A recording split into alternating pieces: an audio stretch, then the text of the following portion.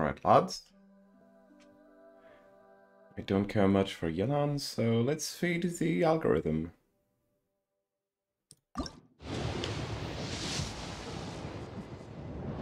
cost. Uh,